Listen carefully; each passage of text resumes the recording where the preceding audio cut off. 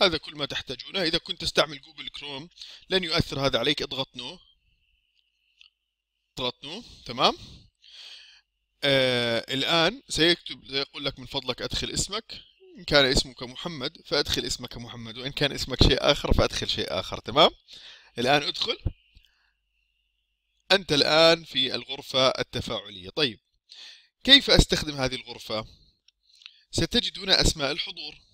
تمام؟ أنا سأدخل باسم آخر الآن. أول ما تدخل إلى الغرفة التفاعلية ستجد هنا أسماء الحضور. من هنا مثلا؟ في المدرس سيكون شعاره بالأزرق. مثلا في ماجد وأنت محمد. هذا اسمك تمام؟ إذا ضغطت هنا ماذا سيحصل؟ ستنجز هذه القائمة إلى الأسفل إذا ضغطت عليها مرة أخرى ستصعد إلى الأعلى. هذه قا... هنا الدردشة. مثلا إذا كتبت أنت السلام عليكم. تستطيع أن تكبر الخط. تمام؟ والأفضل أنك تكبر الخط. يمكنك أن تخرج هذه تصغر هذه أو يمكنك أن تقوم بتكبيرها. طبعا لما تصغرها وين تنزل؟ تنزل تحت هنا في الأسفل. هل رأيتم؟ طيب. يمكنك أن تستخرجها كذلك حتى تكبرها تكبر حجمها وتصبح هذه الكتابة عندك أوضح. شيخنا ما رأي المذهب في تقسيم المياه مثلا؟ تمام؟ يظهر السؤال هنا. ويمكنك أن تعيد هذه هنا أو أن آه، تستخرجها أو أن تنسخ الدردشة حتى إذا أردت أن تنسخ الأجوبة طيب أنا أريد أن أطلب منكم أمرا وأرجو من الجميع أن يتقيد به. أولا عندما نكتب لا نكتب شيخنا ما رأيك ب تمام؟ لا تقلق سننتظر سؤالك حتى تكمله. فأكتب شيخنا ما رأيكم في حكم الطهارة من كذا وكذا وكذا؟ تمام؟ وترسل السؤال بواحدة برسالة واحدة.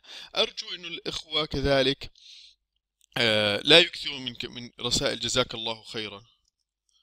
آه، الأمور التي تشتت الشيخ أثناء الدرس حتى يتسنى للشيخ رؤية أسئلتكم جميعا. تمام؟ طيب لنفرض إنك أنت جربت ولم تنجح في الدخول من عن طريق المتصفح العادي يمكنك كذلك أن تقوم بتحميل آه، برنامج الغرفة الصوتية. تمام؟ طيب قبل ذلك هناك لو لو واجهتك مشكلة ما سمعت الصوت بس جرب آه، مكبرات الصوت تأكد أن الإعدادات تعمل بشكل جيد. تمام من خلال هذه الشاشة تأكد أن الإعدادات تعمل بشكل جيد من خلال الشاشة. اطمئن ما أحد يستطيع يراك من من الكاميرا وإن أردت أغلق الكاميرا مثل ما أنا مغلقها ضع عليها شيئا. تمام؟ وتأكد غير إعدادات الصوت إذا كانت لا تعمل السماعات عندك. طيب إذا كنت أنت تريد أن آه، إذا ما اشتغل عندك حاول أن تحمل تطبيق وزايكيو في تطبيق لهم الآن أريك إياه.